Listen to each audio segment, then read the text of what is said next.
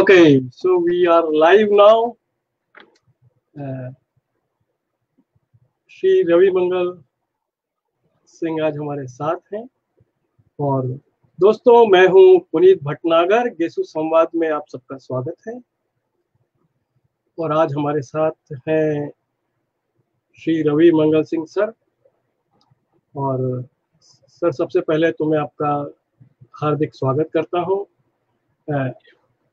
आप हमारे अपने हैं और हमेशा से दिल के बहुत करीब रहे हैं तो आपको मेहमान समझना भी मैं नहीं चाहता। पर फिर भी एक औपचारिकता है तो आपका बहुत बहुत स्वागत सभी दोस्त जो आज हमारे साथ जुड़े हैं जो चैट बॉक्स में हमारे साथ हैं और इसके अलावा भी वो सब लोग जो चैट बॉक्स में नहीं दिख रहे हैं, उन सबका मैं हार्दिक स्वागत करता हूँ। और एक चीज़ मैं आप लोगों से कहना चाहता हूँ। आज का दिन एक बहुत महत्वपूर्ण दिन है गेसु संवाद के लिए। क्योंकि आज हम 25वां गेसु संवाद सेशन कर रहे हैं और एक तरह से ये सिल्वर जुबली सेशन है और जैसा कि मुझे लोगों ने बताया, पूरे हिंदुस्तान में ऐसे बिरले ही इंस्टीट्यूट्स हैं जिनके यहाँ इस तरह के सेशन लगातार चल रहे हैं, बिना नागा चलते जा रहे हैं। और इसमें गेसु समाज की पूरी टीम का बहुत बड़ा हाथ है और और उसमें हमारे साथ श्री रवि मंगल सिंह सर जुड़े हैं। तो आज का दिन बड़ा हंगामे वाला होना चाहिए। इस सेशन की शुरुआत कुछ ढोल धमाकों के साथ होनी चाहिए। थी कुछ प्रेजेंटेशंस हमने बनाए थे, वो चलने चाहिए थे। संजय की टीम ने बहुत मेहनत की। तो एक तरह से ये सिल्वर जुबली सेशन का एक बहुत बड़ा सेलिब्रेशन था। लेकिन जैसा कि दोस्तों, आपको विदित है, हमारे श्रद्धे खन्ना सर, श्री संजय खन्ना सर आज नहीं रहे। वो 1981 बैच के पास आउट थे, इलेक्ट्रिकल थे। और एक विदेश यात्रा पर गए थे। अपने काम के सिलसिले में। और वहीं से आज खबर आई कि वो हमारे साथ नहीं रहे। तो हमने वो सेलिब्रेशन आज मुलतवी कर दिया है। हम संजीदा ढंग से बात करेंगे। और कुछ क्षणों के लिए हम सब उनको याद करेंगे, उनको श्रद्धांजलि देंगे। उसके बाद आज की बात हम आगे बढ़ेंगे। तो कुछ क्षणों के लिए मौन। उनको याद करें। उनके साथ बिताए आपके अगर पल हैं जगह श्रद्धा समन अर्पित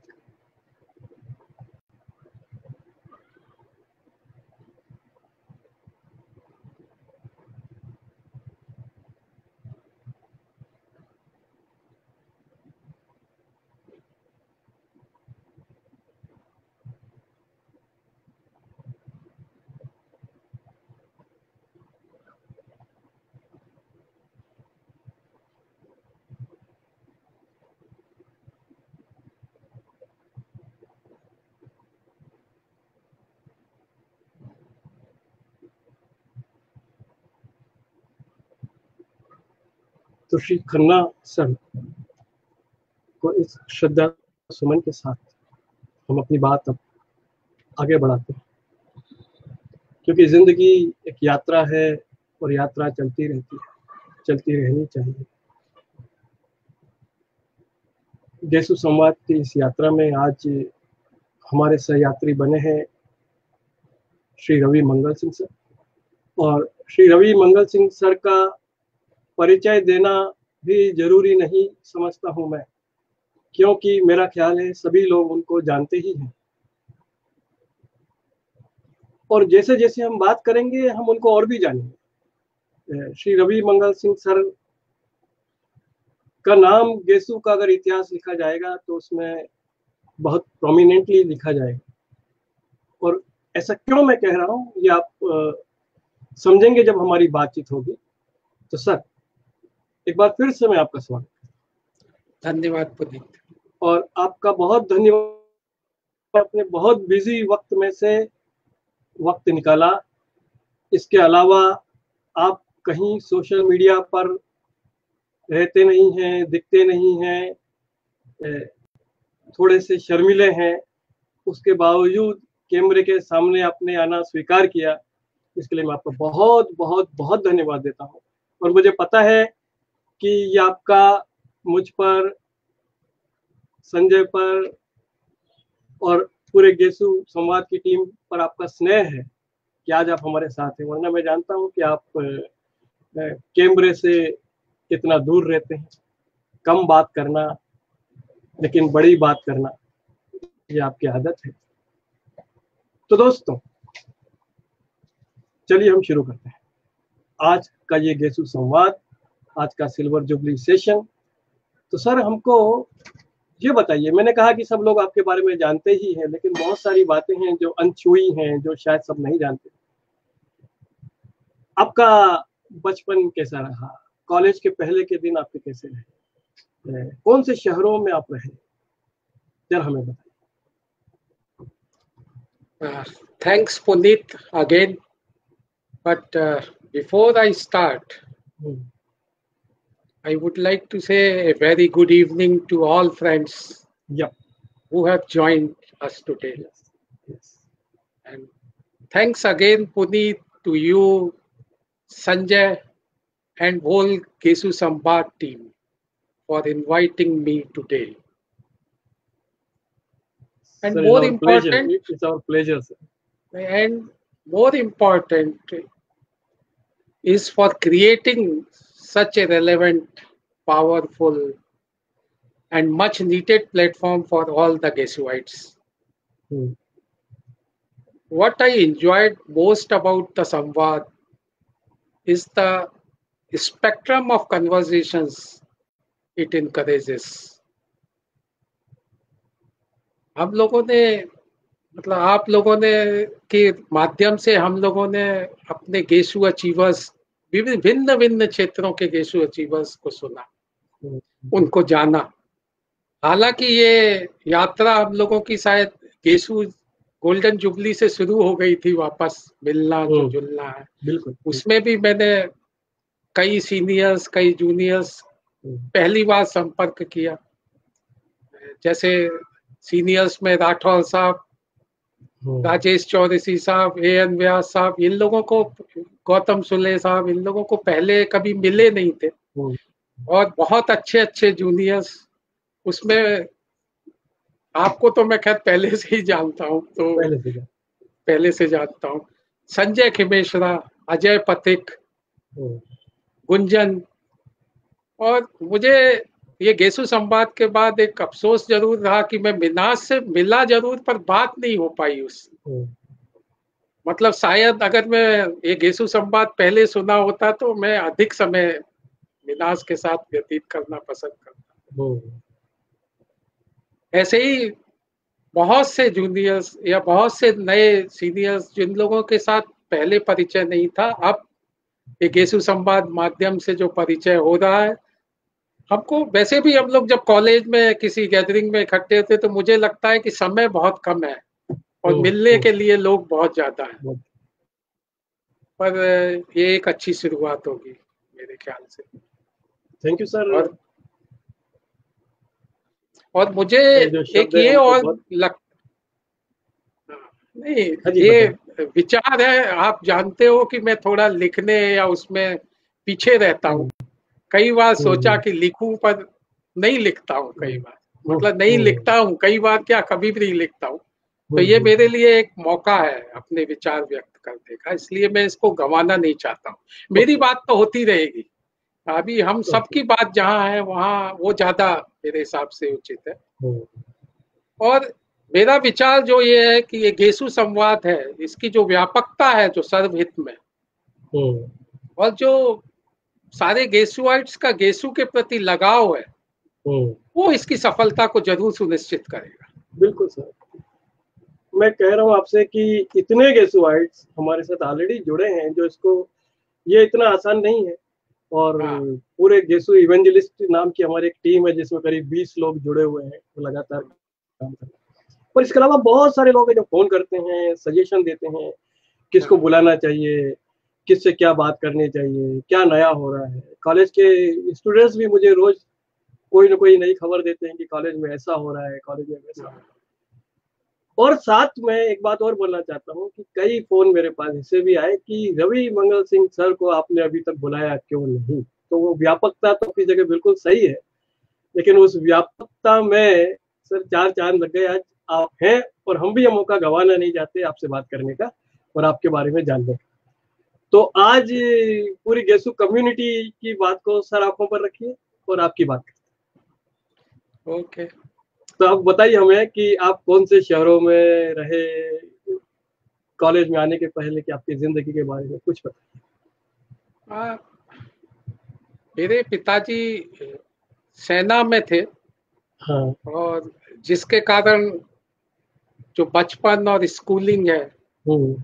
वो आसाम से लेकर पंजाब हरियाणा तक ओके। देश के कई शहरों में गुजरा है हम्म, गाँवों में गुजरा है। हम्म, हम्म, और कई विद्यालयों में मैंने अध्ययन किया है।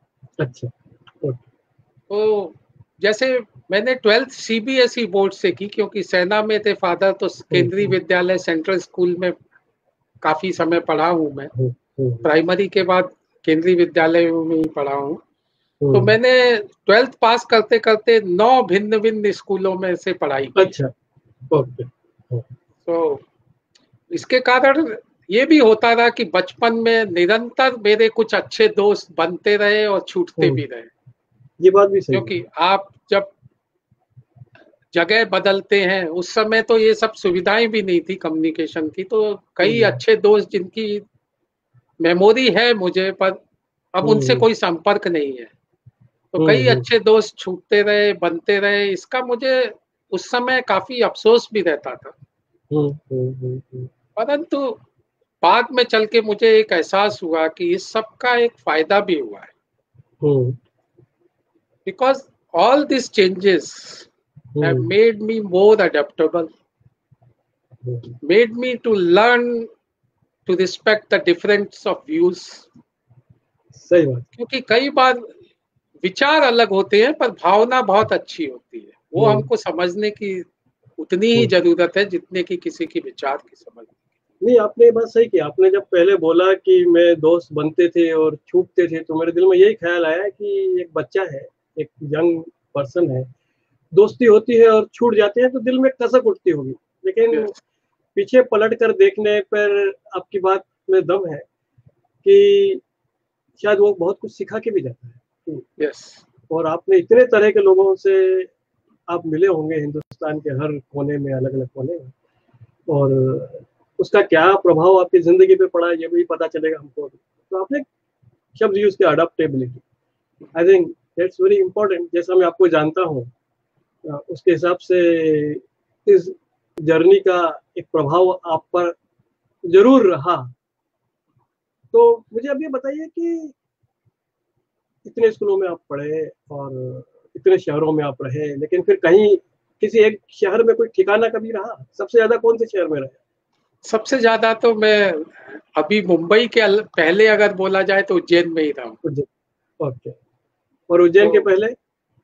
उज्जैन के पहले मैं ग्वालियर में था वहाँ करीब मेरे मतलब पिताजी जब मैं एट्थ पास करने वाला था तब वो सेना में 27 28 साल की सर्विस करने के बाद रिटायर हो गए थे तो ग्वालियर पैतृक स्थान होने के कारण मैंने। Nine tenth eleven twelfth Gwalior Kendriya Vidyalaya से पास की। तो चार साल मैं ग्वालियर में भी रहा हूँ। हम्म, हम्म, हम्म, पर उसके पहले मैं शायद कहीं भी एक या दो साल से ज़्यादा टिक कहीं रहा नहीं हूँ लगातार। तो सर ये इतने सारे शहरों से इतने सारे एक्सपीरियंस को पाने के बाद ये उज्जैन में आपके कदम कैसे पड़े ये भी एक दिलचस्प चीज़ है मेरे जीवन की। कि मैं जब स्कूल में था मतलब उस टाइम केंद्रीय विद्यालयों में इलेवेंथ में आप अपनी स्ट्रीम सिलेक्ट करते थे। तो क्योंकि मेरे पिता हिंदी और हिस्ट्री में डबल एम ए थे उस समय। तो घर में इन सब की पुस्तकों का भंडार था। तो मैं खाली समय में हिंदी साहित्य या हिस्ट्री की बुक्स पढ़ता रहता था तो कुछ रुचि उस तरफ़ ज़्यादा थी हिंदी या हिस्ट्री में। पर उस टाइम उस समय मार्गदर्शक तो पिताजी ही थे। और उनका ये विचार था कि अब हिंदी या हिस्ट्री से जीवन यापन उतना संभव नहीं है इसलिए साइंस पढ़नी चाहिए। तो साइंस में मेरी रुचि गणित में थोड़ा मैं शुरू से कमज़ोर रहा हूँ कंपेरेटिवली अच्छा। मतलब अपने हाँ। सब्जेक्टों में मुझे गणित में हाँ। रुचि कम रही। तो मैंने उस समय पिताजी की भावना और उनके मार्गदर्शन को ध्यान में रख के ये निश्चय लिया कि बायोलॉजी ले लेता हूँ। और वैसे भी आसपास आप लोग डॉक्टर ज़्यादा देखते हो तो ऐसा मन में था कि डॉक्टर बनेंगे बायोलॉजी लेकर। और बायोलॉजी ली पर उसी वर्ष सीबीएसई ने एक चेंज किया कि आप चाहे तो पहले इलेक्टिव एक लैंग्वेज होती थी और एक मतलब उसके सहयोगी लैंग्वेज होती तो इंग्लिश पक्का लेना होता था साइंस वालों को और हम्म। साथ में आप हिंदी पढ़ सकते थे हम्म। तो उस सब उस साल ये बदलाव लाया गया कि चाहे तो साइंस के स्टूडेंट बायोलॉजी और मैथ्स लेके केवल एक लैंग्वेज से पढ़ सकते हम्म। तो फिर पिताजी ने समझाया, बोले, हिंदी में तुम कितना भी अच्छा करोगे, मैथ्स में उससे ज़्यादा स्कोर हो जाएँगे, तुम्हारा ट्वेल्थ का परसेंटेज इंप्रूव होगा so why don't you take maths अब जैसा मार्गदर्शन था, वैसा मैथ्स ले लिया तो हिंदी छूट गई उसके बाद मतलब पढ़ाई। से हिंदी निकल गई बाहर। और ट्वेल्थ पास किया जैसा मेरा इंटरेस्ट था बायोलॉजी में अच्छे स्कोर थे पर उस समय मध्य प्रदेश में बायो मेडिकल के लिए पीएमटी होता था। और इंजीनियरिंग कॉलेज के लिए उस समय तक पीईटी स्टार्ट नहीं हुआ था। मेरे ख्याल से मेरे लास्ट बैच है जो बिना पीईटी के एंट्रेंस में। मतलब इलेवेंथ और ट्वेल्थ बोर्ड के नंबर्स के बेसिस पर हम लोगों का एडमिशन होता था। तो पीएमटी की तैयारी में लगा था एग्ज़ाम भी दिया। पिताजी के हम्म। कहने पर इंजीनियरिंग कॉलेज का फॉर्म भर दिया हालाँकि उस समय ऐसा कोई आशा नहीं थी कि हो ही जाएगा हम्म। पर फॉर्म इंजीनियरिंग का भर दिया हम्म। और चांस कहिए कि मेडिकल में इतने मार्क्स नहीं आए पीएमटी में कि कहीं कॉलेज में एडमिशन मिले और धीरे धीरे करते शायद मोर और लेस अंतिम या अंतिम से एक पहली लिस्ट में इंजीनियरिंग कॉलेज में एडमिशन हो गया okay. हम्म। तो क्योंकि और कोई रास्ता नहीं था तो पिताजी ने बोला एक काम करो आप इंजीनियरिंग हम्म। कॉलेज में चल के एडमिशन ले लेते और पीएमटी की तुम चाहो तो तैयारी करके एक बार और अटेम्प्ट कर लो। हम्म, तो ऐसे ये सोच के हम लोग उज्जैन इंजीनियरिंग कॉलेज आ गए और एडमिशन लिया। वापस में ग्वालियर पहुँचा तो मेरे स्कूल के सीनियर और एक परिचित थे बहुत अच्छे। वो मिल गए मुझे ग्वालियर में। तो उन्होंने ऐसे ही पूछा भाई क्या चल रहा है? ट्वेल्थ हो गया अब क्या किया? तो बताया उनको कि मेडिकल में जाना था हुआ नहीं है। अगली बार तैयारी करूँगा पर अभी मैं इंजीनियरिंग कॉलेज में एडमिशन लेके आ गया हम्म, हम्म, हम्म। फिर सोचूँगा। तो ये सुनकर उन्होंने बोला मुझे ऐसा प्रतीत हो रहा है कि तुम प्लेटफॉर्म पर पहुँच गए हो। और अब ये डिसाइड नहीं कर पा रहे हो कि दिल्ली जाना है कि भोपाल जाना है। हम्म, हम्म, हम्म। और मुझे डर है कि इस चक्कर में कहीं तुम प्लेटफॉर्म पर ही ना रह जाओ। क्या बात है? क्या बात है? तो बोले कि तुमको मतलब अभी निश्चित कर लेना चाहिए कि तुम्हें मेडिकल में ही जाना है या इंजीनियरिंग में ही जाना है। तो फिर कुछ दिनों तक विचार मंथन किया और सोचा कि जो हाथ में है उसको ही कर लिया जाए। तो इस तरीके से इंजीनियरिंग में आ गया। जो कि लास्ट प्रायोरिटी है।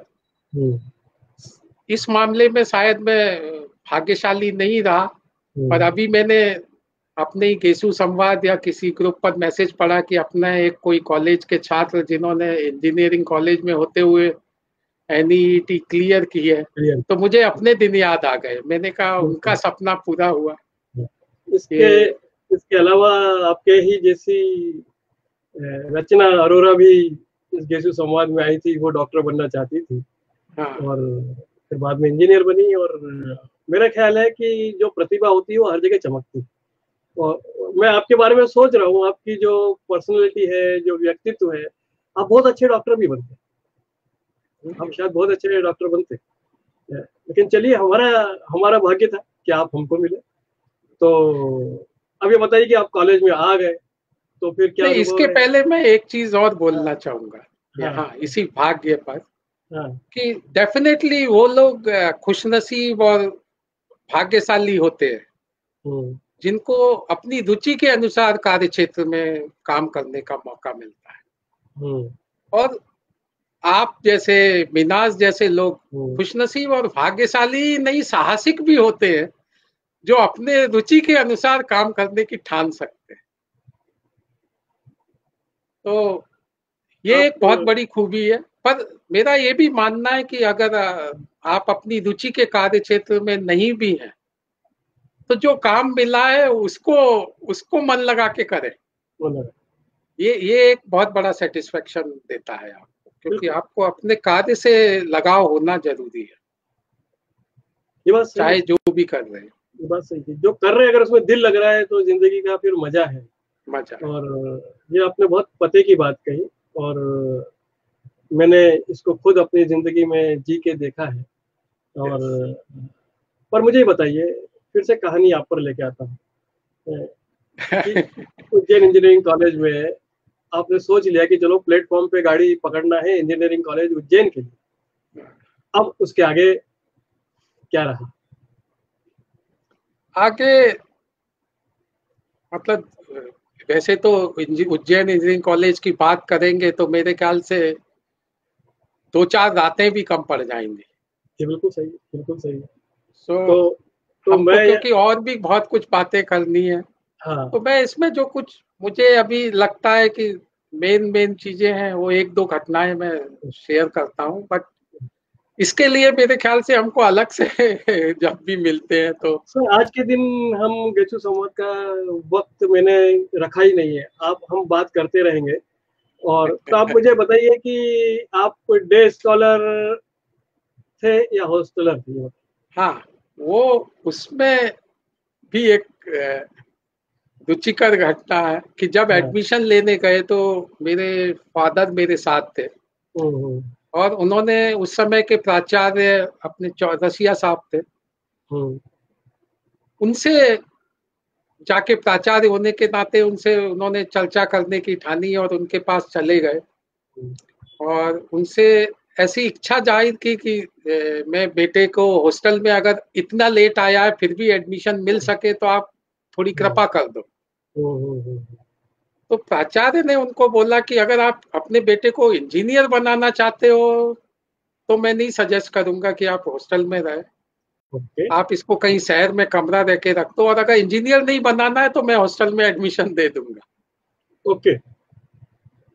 तो अब आप पिता की भावनाएँ और पिता का तो समझ हम्म। सकते हो तो इतना हम्म। अगर कोई प्राचार्य बोलेगा तो उन्होंने उसी टाइम निश्चित कर दिया कि तुमको बाहर रहना है तो इस तरीके से मैं कुछ समझता है या कुछ होता है या कुछ डिसीज़न होता है उसके पहले ही डिसाइड हो गया कि मैं बाहर रह के पढ़ूँगा डे स्कॉलर होऊँगा। तो एक ग्वालियर के ही हमारा क्लासमेट थे उनके साथ रूम रह के मैं मैंने पढ़ना चालू किया। मतलब उनके साथ क्या उनके ही रूम में जगह थी तो उनके साथ रहने लग गया। बिल्कुल। मैं यहाँ पर एक चीज़ और कहना चाहता हूँ। सब हमारे साथ जो दर्शक है, श्रोता है, हमारे भाई बंधु जुड़े हुए हैं पहले जुड़े हुए हैं, कि हम गेसु संवाद में बहुत सदी हुई बात करते हैं, संतुलित बात करते हैं, संवेदनशील होकर बात करते हैं। तो और रवि मंगल सर का भी आग्रह है तो हम बातें करेंगे, घटनाओं के बारे में बताएँगे, क्या कुछ घटित हुआ, वो भी शायद आपको जानने को मिलेगा। लेकिन हम किसी व्यक्ति का व्यक्ति विशेष का ज़िक्र नहीं करेंगे। तो हम्म, तो सर ये हॉस्टल में जाने के लिए प्राचार्य ने खुद मना कर दिया तो आप डे स्कॉलर बने। अब मुझे जो पता है उसके हिसाब से उस जमाने में रेगिंग तो बड़ी ज़बरदस्त होती तो आप देर से आए तो इसलिए आप बच गए या पकड़ लिए गए? मैं ये बोलूँगा कि देर से आने से कुछ बच देर के आने के कारण भी कुछ बचा। हम्म। और कुछ पता नहीं क्यों मेरे कई बार पकड़ा गया पर सीडीएस को मुझमें पता नहीं क्या लगा। और हम्म। अधिकतर मतलब ऑलमोस्ट एवरी टाइम कुछ पूछ के कुछ थोड़ा डांट के खा के और छूट गया। मतलब मेरी रैगिंग जो उस समय रैगिंग का मतलब होता था वो रैगिंग नहीं, नहीं हुई काफ़ी समय तक। अच्छा काफ़ी समय तक मतलब फिर कब काफ़ी समय तक। हाँ, और एक बात ऐसा हुआ कि पता नहीं किस किस कारण वो मुझे कारण आज भी नहीं समझ में आता है कि हम्म, मुझे कुछ डिमोन्स्ट्रेशन करने के लिए पहले सब लोगों को इकट्ठा किया गया और कुछ दो चार हमारे बैच के लोगों को ले जाके हॉस्टल में हम्म। मतलब जो रैगिंग होती थी वो शुरू हुई। ओके। हम्म। तो उस समय जो रैगिंग में जो लोग करने को बोलते थे या जो रहता था उससे मेरा विरोध था थोड़ा। मतलब मैं उसके लिए मानसिक रूप से तैयार नहीं था। हम्म, तो मैंने बहुत स्ट्रांगली वो सब नहीं किया और ना करने को तैयार okay. उसका परिणाम ये हुआ कि मेरी पिटाई बहुत हुई। अच्छा तो आपकी पिटाई हुई? बहुत हुई मतलब अच्छा। आ, इतनी हुई कि बाद में एक सीनियर मुझे बस स्टैंड तक छोड़ने आए साथ में अच्छा। कि उन लोगों को भी एहसास हो गया कि अब इससे कुछ करवा नहीं सकते अब इसको छोड़ देना चाहिए। तो पर शायद वो एक ही बार है और अंतिम बार है जब मेरी रैगिंग हुई है। और उसमें इतनी ज़्यादा होने के पीछे कुछ मैं भी कारण रहा हूँ कि मैं मतलब अपने चीज़ों से डिगा नहीं और मैंने हर तरह से माना नहीं हम्म। पर ये ज़रूर है कि उसके बाद मुझे हमेशा ये विचार में रहा कि ये जो प्रथा है इतना मारपीट या रैगिंग में ये जो प्रथा है ये सही नहीं है हम्म। और इसका कोई अच्छा परिणाम नहीं है तो उसी दिन से उसके बाद से मैंने निश्चय किया कि मैं अभी किसी भी अपने जूनियर को ऐसी रैगिंग नहीं लूँगा या रैगिंग लूँगा ही नहीं।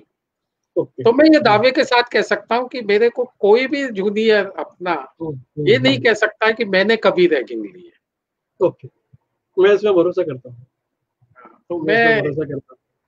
और काफ़ी काफ़ी लोग थे जिन्होंने हमारे बैच में नहीं भी ली और कुछ होते हैं हर तरह के लोग होते हैं कुछ सोचते हैं कि ये प्रथा है हमारी हुई तो दूसरे की हमको लेने का अधिकार है वैसे लोग भी होते हैं। हम्म। और कुछ सोच कुछ हम लोगों जैसे भी होते हैं जो सोचते हैं कि नहीं अच्छा है तो नहीं लेना है तो हम्म। ये तो मैं आपको एक चीज़ शेयर करूँ सर कि मैं सीधा सेकंड ईयर में कॉलेज में आया था हाँ। एटी फाइव तो इस कारण शायद कहीं ना कहीं मैं और प्रतुल शुक्ला हम दोनों साथ में आए थे सेकंड ईयर में तो हम बच गए हाँ। उस तरह की रैगिंग से और हमने भी कभी रैगिंग नहीं ली किसी तो हाँ। मेरा ख्याल है जो आपने दावा किया मैं भी कर सकता हूँ yes, मैंने कभी किसी जूनियर की रैगिंग नहीं ली। मतलब ये भी नहीं पूछा कौन है तू? किधर सारा है? हाँ। तेरा तीसरा बटन किधर है? और तो शायद इसमें आप जैसे लोगों का भी हाथ होगा कि इस तरह के विचार चल पड़े थे। तो मुझे अब ये बताइए कि तो आपकी रैंकिंग हो गई उसके बाद एक बार बहुत मार लिया उसके बाद उनकी पूरी चाहत भी खत्म हो गई अगली बार फिर किसी ने पकड़ा नहीं होगा आपको। नहीं फिर आ, हाँ। कभी नहीं हुई हाँ। मेरी ये भी मैं मानता हूँ तो अब और उसके बाद फिर कॉलेज में आप चले गए आगे हाँ, बढ़ते चले गए आगे बढ़ते ओके तो फिर अब ये बताइए कि आप कॉलेज के प्रेसिडेंट भी बने हाँ। तो तो आप लगातार कॉलेज की पॉलिटिक्स में हिस्सा लेते रहे उस पिटाई के बाद ऐसा तो नहीं है कि मैं मतलब राज कॉलेज पॉलिटिक्स या राजनीति में हिस्सा लेता था हम्म। पर हाँ मैं मतलब थोड़ा बहुत एक्टिव तो रहता था अपने क्लास हम्म। में अपने बैचमेंट के साथ हम्म। पर ऐसा कोई इरादा नहीं था कि कॉलेज की राजनीति में हिस्सा लेना है ओके इसका श्रेय जाता है पूरी 87 बैच को जो उस समय थर्ड ईयर में थी जब मैं फाइनल ईयर में प्रवेश कर रहा था तो वो थर्ड ईयर में प्रवेश कर ओके। तो कुछ एट्टी सेवन बैच में काफ़ी सारे लोगों ने एक साथ मिलकर कुछ ये रैगिंग के खिलाफ मुहिम चलाने की ठानी। मेरा मेरा ख्याल मेरा ख्याल है मुझे हमारे एक सीनियर सर ने फ़ोन करके बताया कि शायद थर्ड ईयर में भी उनकी रेगिंग हुई तो उनको अच्छा नहीं लगा। उन्होंने कहा कि नियम है दो साल तक रेगिंग हो सकती है। ये तीसरे साल क्यों रेगिंग हो रही है? हाँ। और आपकी तरह उन्होंने भी फिर विरोध किया था इसका और हाँ तो फिर पूरी बैच ने जब ठानी उसमें कुछ सीनियर्स भी थे हम्म। हमारे साथ के। मैं एक स्पेशली नाम लेना चाहूँगा महेश राजपूत का अच्छा। हम्म, हम्म। वो उन लोगों को साथ जुड़े और काफ़ी लोग भी जुड़े। हम लोगों हम्म। का मुनी नगर में काफ़ी इंजीनियरिंग कॉलेज के साथ सीनियर जूनियर्स बहुत अच्छे आदितम में रहते थे एक दूसरे को बहुत सपोर्ट करते थे।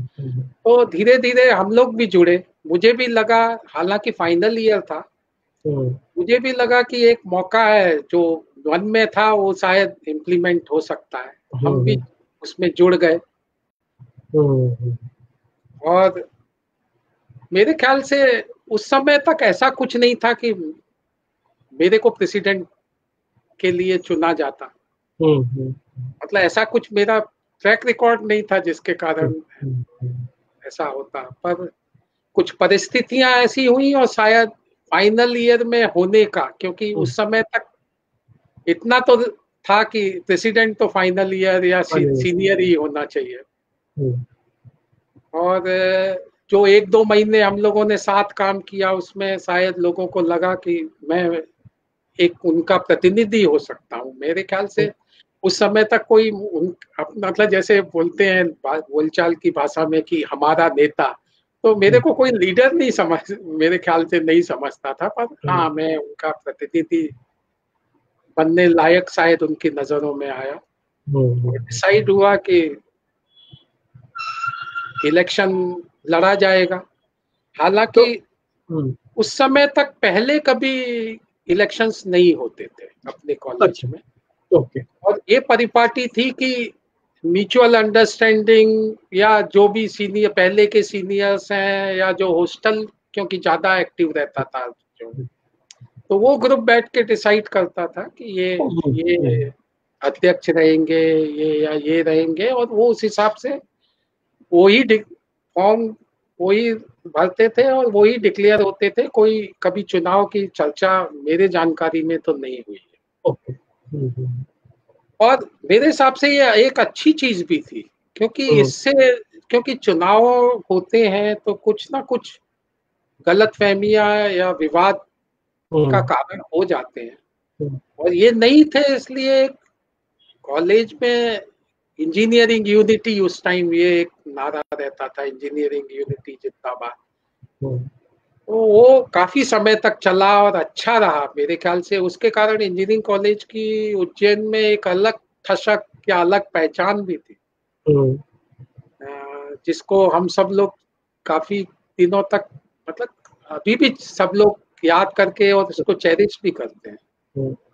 पर क्या तो होता है हर चीज़ जब लंबे समय तक चलती है तो एक ही हम्म। दिशा में क्योंकि परिवर्तन तो is the only constant in this world परिवर्तन तो आना ही चाहिए पर एक विचारधारा चलते चलते चलते चलते वो कई बार इतनी जड़ हो जाती है हम्म।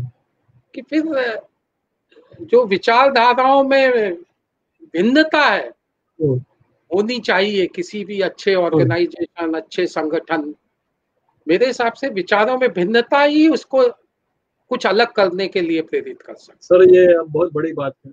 विचारों में भिन्नता होना भी ज़रूरी है। सब एक जैसे हो जाएँगे या सब एक बात मानने लगेंगे तो। शायद वो ग्रोथ रुक जाएगी। आप सही कह रहे हैं। तो क्योंकि नए आइडियाज़ विचारों में भिन्नता से ही आएँगे आप। अगर तो पर क्या होता है कई बार एक परिपाटी पर हम चलते रहते हैं तो फिर धीरे धीरे ऐसा होता है कि एक ही विचार है वो ही फाइनल विचार हो जाता है। हम्म। तो प्रोबेबली हम लोग उस स्टेज तक पहुँच गए थे उस समय। मैं किसी को हम्म। गलत या सही नहीं सिद्ध हम्म। करना चाहता हूँ। और हम लोग उस समय तक उस स्थिति में पहुँच गए थे कि एक ही विचार सही है और बाकी विचार की कोई महत्व तो नहीं रहता था। कुछ लोग अपेक्षित भी महसूस करते थे तो मेरे ख्याल से ये परिवर्तन का समय था। मतलब वो हर चीज़ का एक समय एक्सपायरी डेट होती है तो मेरे ख्याल से हमारा वो जो विचार था उसकी एक्सपायरी डेट आ चुकी थी। इसमें हालाँकि आप का, काफ़ी लोग मेरा योगदान ज़्यादा समझते हैं पर मैं समझता हूँ कि उसमें उसकी एक्सपायरी डेट थी परिवर्तन का समय था। और अगर किसी को इस चीज़ का योगदान देना है तो उसमें जो 87 बैच है जिसने स्टार्ट किया मेरे ख्याल से सही हकदार वो सारी बैच है उसकी। ओके। और उस बैच में भी उनके लीडर्स थे सुनील मित्तल ने किया अभिषेक जैन मतलब हम्म। पढ़ने वाले लोग। हाँ, और पूरी बैच मतलब उनकी टीम है मतलब जो एक हाँ, मैं जानता आज, हाँ जानते हैं। आप तो हम्म। ये लोग और उनके साथ काफ़ी लोग जुड़े ऐसा नहीं है। जैसे मेरी अगर बैच में समझेंगे हम्म। तो मेरे मुझे अच्छी तरह याद है कि पूरा मैकेनिकल हमारी ब्रांच थी। वो पूरे मतलब एज ए सॉलिड रॉक मेरे साथ खड़ी रही हमेशा। हम्म, हम्म। हालाँकि फाइनल में होने के कारण उतना एक्टिव नहीं है पर हर चीज़ में उन्होंने साथ दिया। नहीं तो अब मुझे बताइए कि चुनाव होते नहीं थे और आप लोगों ने डिसाइड किया कि हम तो चुनाव लड़ेंगे। तो फिर वो चुनाव कैसा रहा? देखिए चुनाव डिसाइड किया पर हम लोग भी भ्रमित तो थे। हम्म, क्योंकि हमको मन में तो ये लगता था कि ये चुनाव होने के बाद हम सही डायरेक्शन में जाएँगे या नहीं। हम्म। कई हमारे सीनियर्स जो उस समय कॉलेज से निकल चुके थे या निकलने की कगार पे थे उन्होंने भी बहुत प्रयास किया हम्म, कि किस तरह से चुनाव टल जाए। हम लोगों की तीन तीन चार चार मीटिंग भी काफ़ी हुई लंबी। पर समाऊ एक दूसरे पर वो विश्वास नहीं हो पा रहा था। मतलब कि ये चुनाव के बाद चीज़ें पलट नहीं जाए। तो अंत में फिर भारी मन से कहना चाहिए कि फिर से ये निश्चित किया गया कि ठीक है अब चुनाव करके चुनाव लड़के ही देख तो जैसे चुनाव होते हैं वैसे हुआ भी काफ़ी चीज़ें हुई उसमें जो हर चुनाव में होता है वो हुआ पर एक अच्छी बात हुई कि जब चुनाव हुआ और मैं जीता। तो मुझे आज भी याद है कि कई हॉस्टल के कुछ सीनियर्स कुछ। सहपाठी कुछ जूनियर्स क्योंकि ये मोर और लेस ऐसा कन्वर्ट हो गया था हॉस्टल वर्सेस डे स्कॉलर्स वो भी चुनाव के जलूस में शामिल हुए थे क्या बात मतलब हाँ। तो उससे मुझे उसी दिन थोड़ी आशा बंद गई थी कि शायद हम लोग मिलकर भी इतने सब उसके बाद भी मिलकर कुछ कर सकते हैं। हम्म। लेकिन ये बात आप सच कह रहे हो इंजीनियरिंग इंजीनियरिंग यूनिटी का वो भाव तो रहा ही होगा जो इतने वर्षों से बना हुआ था वो तो था कहीं ना कहीं। लेकिन बहुत सारी बातें जो हम यहाँ पर अभी नहीं करना चाहते इतने साल बाद उनका औचित्य नहीं है। हाँ। जैसा कि आपने कहा मुझसे और मैं भी उन बातों को नहीं निकालूँगा।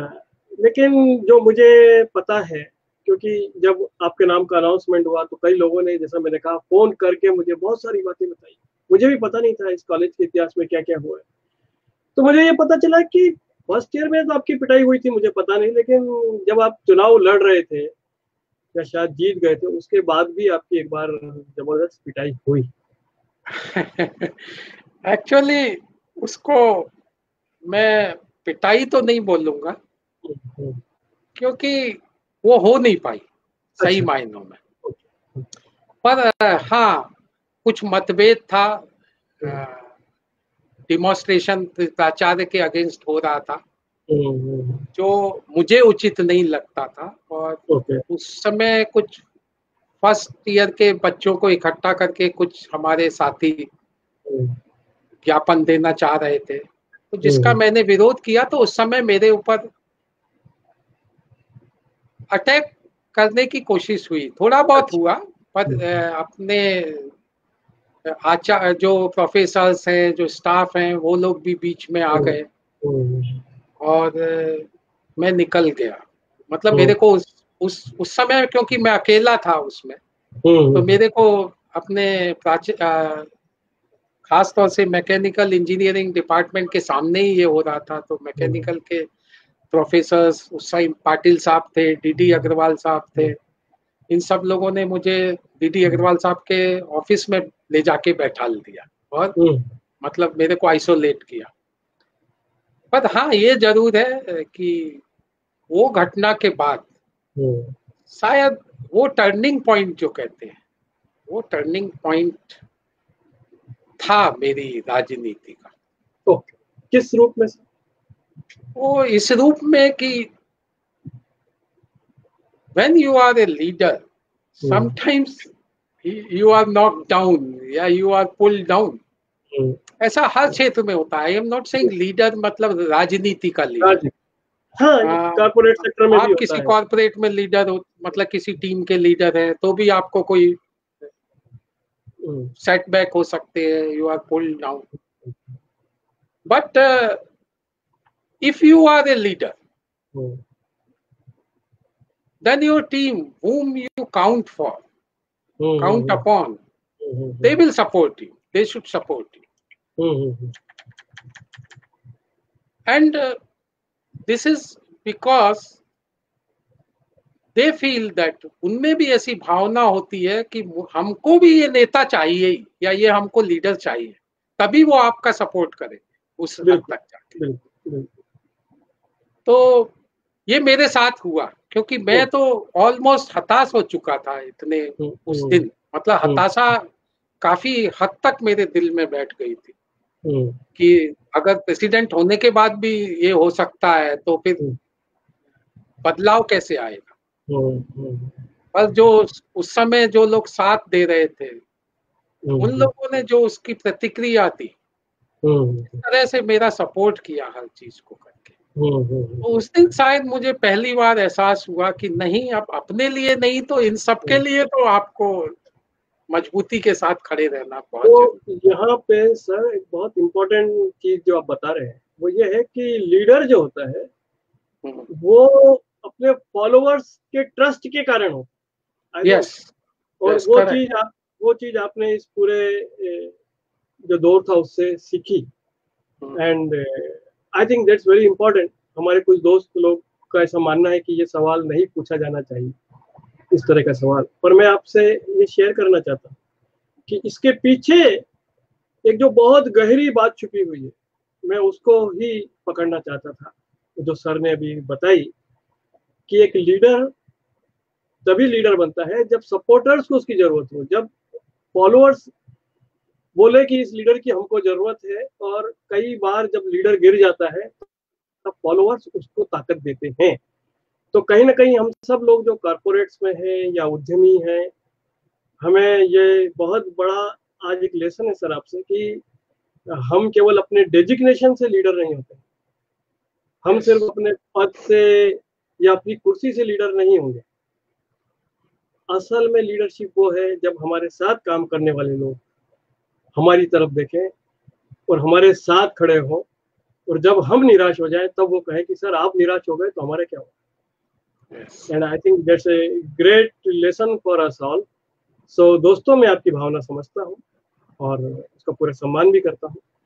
पर रवि मंगल सिंह सर को मैं बहुत वर्षों से जानता हूँ, उनसे कई बार बात कर चुका हूँ।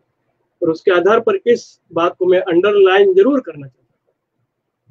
तो सर, आप ये बताइए कि कॉलेज में आप जीत गए, बहुत सारी नई चीज़ें आपने शुरू की। जैसे मुझे याद है, विक्रम कीर्ति मंदिर में एनुअल फ़ंक्शन हुआ yes. था। और नहीं आपको याद होता हो हम लोगों को भी बहुत याद है कि आपने और अप्रतुल्य शुक्ला ने जो नाटक किया था वो सर अच्छी भाषा नाटक मतलब सचमुच का नाटक। है? सचमुच का नाटक मतलब नाटक किया था मतलब का नाटक। अरे वो जान थी पूरे एनुअल फ़ंक्शन की। और मेरे ख्याल से मैं आपको उसके बाद से ही आप दोनों को पहचानने लगा। उसके पहले मिला होऊँगा तो उतना नहीं था पर वो एक था जो अपने दोनों में एक तादेतम बना। बिल्कुल और मैं इस बात के लिए आपकी दाद दूँगा सर कि शायद मेरे कैरियर पर इंजीनियरिंग कॉलेज के उन नाटकों का उन डिबेट्स का बहुत बड़ा योगदान रहा है। और मैं आपको दाद देना चाहता हूँ आपको धन्यवाद देना चाहता हूँ। क्योंकि मुझे कई लोगों ने बोला कि बेटा तुम सेकंड ईयर में इतने बड़े बड़े ड्रामे कर रहे हो यहाँ पे चढ़ के।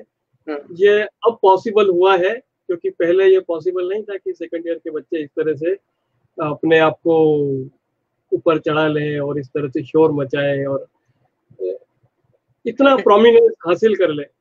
तो मेरे ख्याल से एक बदलाव तो हुआ आपके कारण और ए, मैं दोस्तों एक बात और कहना चाहता हूँ कि ए, जैसा मैंने शुरू में कहा कि जब रवि मंगल सिंह सर हमको मिले हैं तब कॉलेज को समझने का भी हमारे लिए एक मौका है और इसलिए इस पर हमने थोड़ी विस्तृत चर्चा की। तो सर, आप ये बताइए मुझे कि कॉलेज हो गया, फाइनल ईयर हो गया, अब तो अभी डॉक्टर बन नहीं सकते थे अब इंजीनियर बन गए तो फिर करियर की शुरुआत कैसे ये हर चीज़ एक आप शायद खोज खोज के सवाल पूछ रहे हैं। हाँ। हर चीज़ के पीछे एक दिलचस्प चीज़ें हैं मेरी हाँ।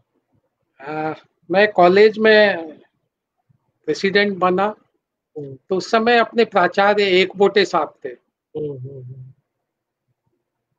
और समाऊ हम लोगों का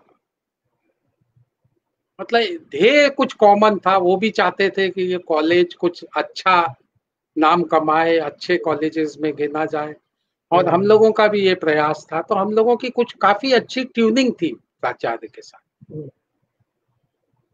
पर और मैं वो हमेशा कहते थे मैं ये शब्द उनके नहीं बोला कि I want to make this college a paradise अच्छा।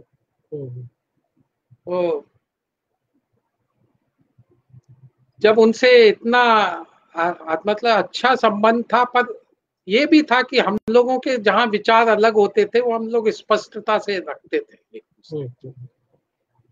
और मुझे याद है कि किस एक कारणवश हम लोगों ने उसी साल जब मैं अध्यक्ष बना एग्ज़ाम हुए फाइनल एग्ज़ाम हो रहे थे उस साल के हम्म। तो प्राचार्य के खिलाफ एक पेपर भी बायकाट कराया था उनके एक्शन के खिलाफ हम्म। मतलब उस समय ऐसा होता था कि फ़र्स्ट थर्ड और फाइनल ईयर का एक दिन होता था और सेकेंड और फोर्थ ईयर का एक दिन होता था। एग्ज़ाम मतलब एक दिन में पाँचों ईयर्स के नहीं होते थे। तो सेकेंड और फोर्थ ईयर्स ने बाइकाट किया था। प्राचार्य के खिलाफ। हालाँकि वो एग्ज़ाम फिर से हुआ। पर यहाँ मैं उनकी महानता मानता हूँ हम्म। कि इतना सब उनके खिलाफ करवाने मतलब उसके सूत्रधार तो अध्यक्ष होने के कारण मैं ही था। तो उन्होंने कभी इसको अपने मन से नहीं लिया क्योंकि प्रोबेबली वो समझ सके कि मैं इतना विरोध क्यों कर रहा हूँ इस चीज़ का। और वो विरोध इस बात पर था कि मैं हमेशा उनको बोलता था कि आप हमारे पिता तुल्य हैं। आप कुछ भी एक्शन ले लो अगर आपको लगता है कि ये लड़के ने गलत किया मैं आपका सपोर्ट करूँगा। पर कभी बाहर वाले को मत बुलाइए। हम्म, हम्म। हमारे परिवार के बीच में। और उस दिन हम्म। उन्होंने गलती से या कुछ जोश में या कुछ उन्होंने पुलिस बुला के हम अपने छात्रों को गिरफ़्तार करवा दिया। अच्छा तो मेरे को ये अच्छा नहीं लगा कि मैंने उनको यही बोलता था कि आप एक्शन ले लेते कुछ भी आपने पुलिस क्यों बुलाई? इस गहमा गहमी में हमने किया। हालाँकि उनको भी समझ में आया पर उनकी मानता है कि उन्होंने कभी इसको आगे भी हम मेरे और उनके संबंधों के बीच में इसके कारण कभी कुछ मेरे दिमाग में सवाल कुल बुला रहा सवाल कुल बुला रहा है कि मैंने आपसे पूछा कि आपके करियर की शुरुआत कैसे? और हाँ। आप मुझे एक गोटे जी के बारे में बता रहे हैं। ऐसा क्यों? हाँ नहीं तो वही है कि मतलब मैं इसलिए बता रहा हूँ कि कई बार लगता है कि आपके संबंध अच्छे हैं इसलिए आपको किसी ने सपोर्ट किया। तो मैं हम्म, भूमिका हम्म। ये बाँध रहा हूँ कि हमारे संबंध हमेशा अच्छे नहीं रहे। हमने एक दूसरे का हम्म, इस हद तक विरोध भी किया है। उसके हाँ। बाद भी एक दूसरे की भावना एक दूसरे का सम्मान करना ये बहुत बड़ी बात होती है एक दूसरे को समझना। And this is called unbiased views and on any subject and your mind is uncorrupt that means from both the sides. And this is also a good quality. Sir so प्राचार्य की मुझे ये गुड क्वालिटी क्योंकि पर sir मुझे आप माफ़ कीजिएगा मैं आपको बीच में इंटरप्ट कर रहा हूँ बार बार कि ये है कि आपका करियर कैसे शुरू हुआ? तो यहाँ पे ये एक बोटे सर बीच में कैसे आए? मुझे जरा I am just trying to connect the dots इसके ऊपर कुछ now बताना now चाहेंगे? you need not to wait much. I am connecting Okay. that dot. Okay okay हाँ, उसके बाद क्या हुआ? उस टाइम कैंपस इंटरव्यू के लिए तो मुश्किल से दो तीन कंपनी आती थी अपने यहाँ। हाँ, और हाँ। मैकेनिकल में खास तौर से गजरा गियर्स आती थी और एक दो और कोई कंपनी आई जिन्होंने एक एक दो दो छात्र लिए। हम्म, मेरे अगर मेरी याददाश्त गलत नहीं है तो शायद नौ लोग गजरा गियर्स ने लिए थे and that was the biggest recruiter तो मेरा भी गजरा गियर्स में सिलेक्शन हो गया था कैंपस इंटरव्यू में। हम्म, पर समहाउ मैंने गजरा गियर्स ज्वाइन नहीं की। हम्म, अभी उसको बोलूँगा तो फिर आप बोलोगे कि कहानी दूसरी तरफ़ चली गई तो मैं उसको बाजू में रखता हूँ। है, फिर जब मैंने मन ब- जब मैं इस पास हो गया और मुझे लगा कि अब नौकरी करनी चाहिए। तो उस समय मेरे मन में विचार आया कि कॉम्पिटिटिव एग्ज़ाम क्यों ना दिए जाएँ? गजरा गियर्स ज्वाइन करने की बजाय। मतलब जैसे एमपीवी के होते थे बाकी जो भी गवर्नमेंट्स के होते थे रेलवे के होते थे।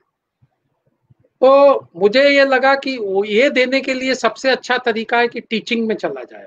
ओके। तो प्राचार्य को जानता था और मुझे पता था कि मैकेनिकल में एडॉक की एक दो पोजीशंस खाली हैं। तो मैंने हम्म। उनको जाके अनुरोध किया कि मुझे आप एडॉक पर रख लो। हम्म, हम्म, हम्म, कुछ समय के लिए तो मेरा ये काम हो जाएगा। हम्म, हम्म, तो वो बोले कि मैं मानता हूँ कि तुम अच्छा पढ़ा लोगे हम्म, तुम्हारा बैकग्राउंड देख के कुछ विवाद हो सकते हैं इसलिए मैं तुमको इस इस इस रिस्क के कारण तुमको उज्जैन इंजीनियरिंग कॉलेज में एडॉक पर नहीं रख सकता। ओके। हम्म, हम्म, बोले पर अगर तुम्हें टीचिंग ही करना है तो मैं तुमको तुम ग्वालियर के हो तुम ग्वालियर प्राचार्य को लिख देता हूँ तुम्हारा वहाँ हो जाएगा। ओके। पर उस समय तक मैं कुछ उज्जैन और उज्जैन के साथियों के बीच में रच बस गया था। तो मुझे ये विचार मैंने उसी समय उनको बोल दिया मैं ग्वालियर वापस नहीं जाऊँगा। हम्म, तो बोले अगर फिर तुमको उज्जैन ही रहना है तो तुम चाहो तो मैं तुम्हें श्री सिंथेटिक्स में तुम्हारा इंटरव्यू करवा के और तुम्हारा वहाँ तुमको लगवा सकता ओके हम्म, तो मैंने उज्जैन के मोह के कारण उनको उस समय बोल दिया हाँ ठीक है चलो ये चलेगा। और मेरा पहला जॉब अपने प्राचार्य की अनुशंसा पर हालाँकि तो- इंटरव्यू वगैरह सब हुए और श्री हम्म। सिंथेटिक्स में लगा। तो तो- इस तरह से जो मेन मेड फाइबर है सिंथेटिक्स है उसके साथ आपका संपर्क जुड़ा शी सिंथेटिक्स से। और सिंथेटिक्स शी सिंथेटिक्स में तो सर आप मेंटेनेंस का हाँ काम देख रहे थे मुख्य तौर से। यस और आज के दिन आपको हम जो जानते हैं वो प्रोजेक्ट्स बड़े बड़े प्रोजेक्ट्स को आप लीड करते हैं इस रूप में जानते हैं।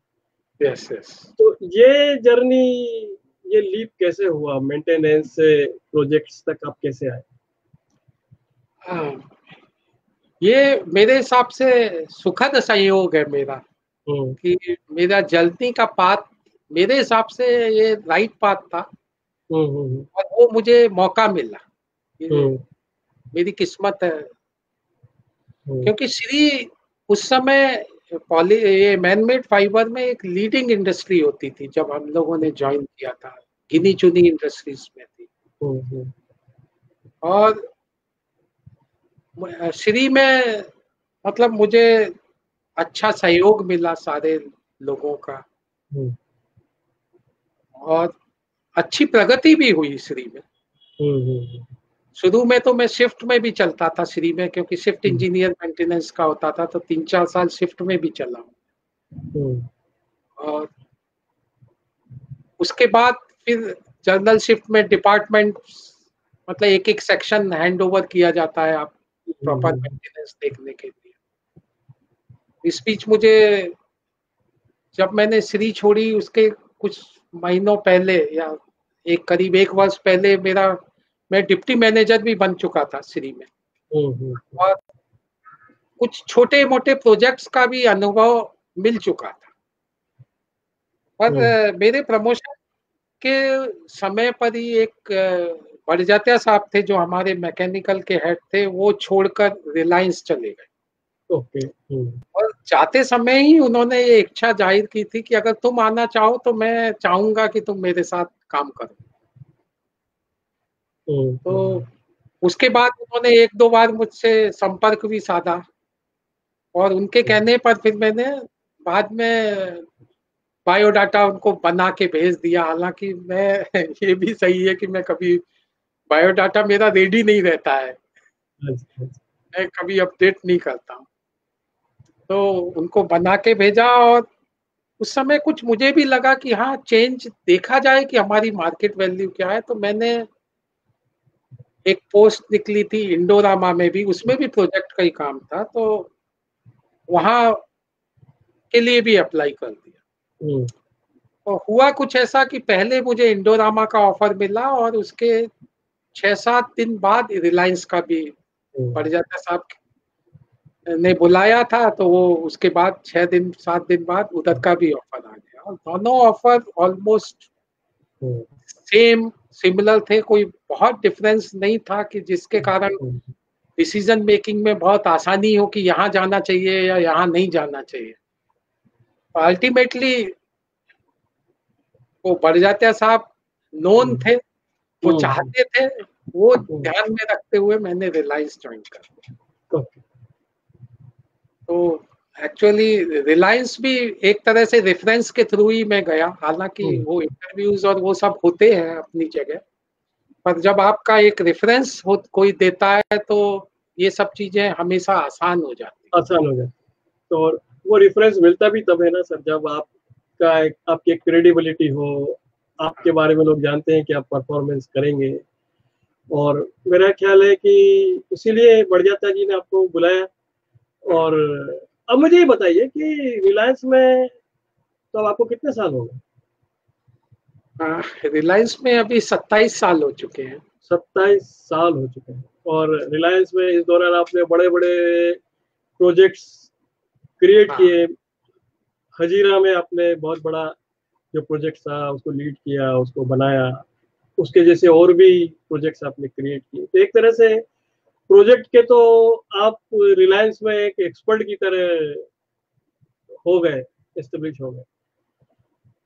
और अब आप इंजीनियरिंग साइड में हाँ। कितने सालों से सर? ये मैं 2004 से कर रहा हूँ तो 16 साल हो गए उसमें। Okay okay. तो तो इस तरह से देखा जाए तो आपका एक बहुत लंबा करियर है बहुत लंबा एक्सपीरियंस है और आपकी जो अथॉरिटी है ऑथेंटिसिटी है व्यक्तिगत भी और काम की भी उसके चलते आपने कई इंटरनेशनल प्रोजेक्ट्स पर भी काम किया है तो अच्छा। हमको कुछ उनके बारे में बताएँगे हाँ तो जब मैंने रिलायंस ज्वाइन किया तो उस समय हजीरा में हजीरा पेट्रोकेमिकल्स कॉम्प्लेक्स सेटअप हो रहा था। और उसमें पॉलिस्टर एक्सपांशन का भी काम चल रहा था हम्म। और मतलब एक्सपांशन भी बहुत वर्ल्ड स्केल का था आपको हम्म। अंदाज़ा लगाने के लिए जब मैंने श्री छोड़ी तो श्री का प्रोडक्शन तीस टन पर डे था हम्म। और हम जो हजीरा में पीओवाई लगा रहे थे। वो 360 टन का पीओवाई हाँ और 270 टन का पीएसएफ एक साथ इतने प्रोजेक्ट हम कर तो मतलब रियली रिलायंस में जाकर मुझे जो वर्ल्ड स्केल क्या होती है वो जो अनुभव है जो वर्ल्ड के मैनमेड फाइबर्स के जो एक्सपर्ट्स हैं उनके साथ जो काम करने का मौका मिला है it has given me a lot of experience and knowledge also on this that field how the things are moving but हाँ उस समय क्योंकि हालाँकि मेरा सिलेक्शन मेंटेनेंस या ऑपरेशंस के लिए ही हुआ था पर उस समय तक प्लांट चालू नहीं था तो हम हम्म। लोगों को इरेक्शन में डाल दिया गया मतलब कंस्ट्रक्शन हम्म। तो मुझे जो स्पिनिंग जो मैन मेड फाइबर का हार्ट होती है उस उन मशीनों का इरेक्शन इंचार्ज उस समय बना दिया गया और उस समय तक रिलायंस में स्पिनिंग मशीन के इरेक्शन के लिए एक ही एक्सपर्ट थे।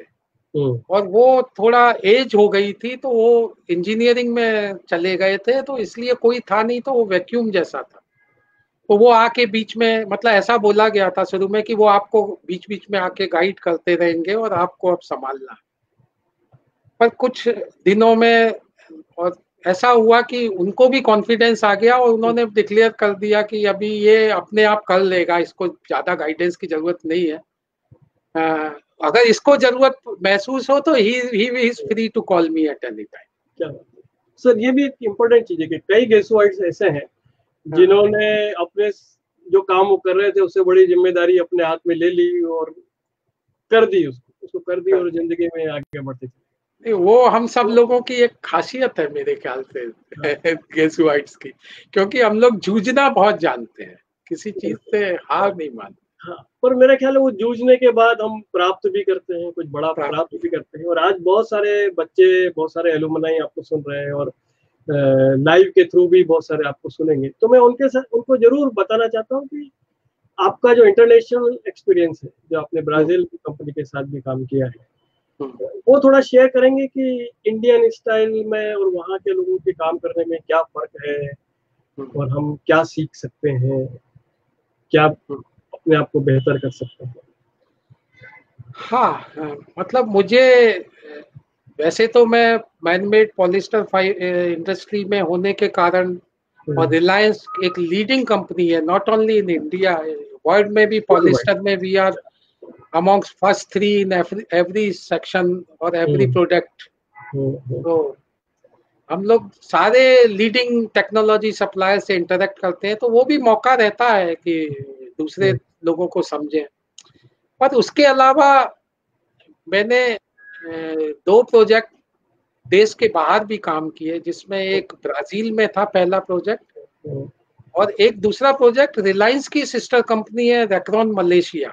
उसमें काम किया जिसमें हम और गुलशन खन्ना सर अच्छा क्या बात साथ में थे। ओके हाँ। मतलब हालाँकि मैं थोड़ा जल्दी उस प्रोजेक्ट से बाहर निकल गया क्योंकि तब तक सिलवासा में बहुत बड़ा प्रोजेक्ट चालू हो गया हम्म, हम्म। और हमने काफ़ी समय साथ में भी उस प्रोजेक्ट पर काम किया हालाँकि उस समय मैं जानता नहीं था कि वो अपने गेसुके हैं ना वो जानते थे कि हम गेसुके हैं अच्छा हाँ।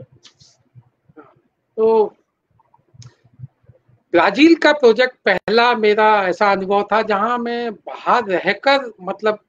काफ़ी लंबे समय तक रहकर मैंने काम किया। और वो इस कारण मिला कि ब्राज़ील में जैसे अपना ओएनजीसी है इंडिया की।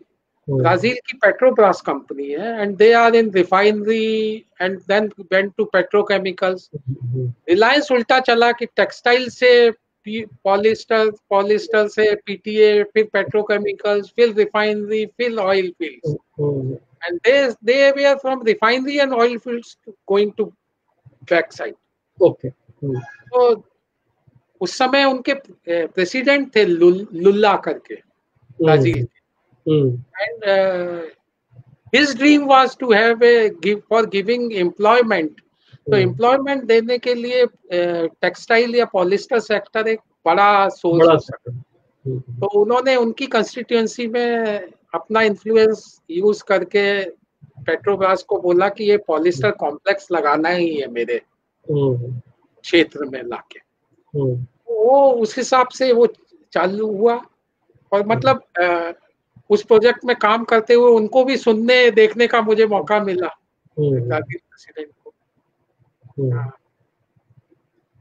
तो वहाँ देखकर मेरे को जब मैं गया था यहाँ से उसके हम्म। पहले मैं यूरोप अमेरिका कई बार मतलब टेक्नोलॉजी हम्म। सप्लायर्स के साथ मीटिंग्स के लिए जा चुका हम्म। था छोटे छोटे पीरियड्स के लिए हफ़्ते दस दिन के लिए कभी ट्रेनिंग के लिए भी गया तो डिफरेंस दिखता था हिंदुस्तान अपने भारत और अमेरिका या यूरोप में तो उस टाइम मुझे ऐसा लगता था कि शायद ये हम लोग डेवलपिंग कंट्री है और ये लोग डेवलप्ड कंट्री है तो ये डिफरेंस जायज़ है।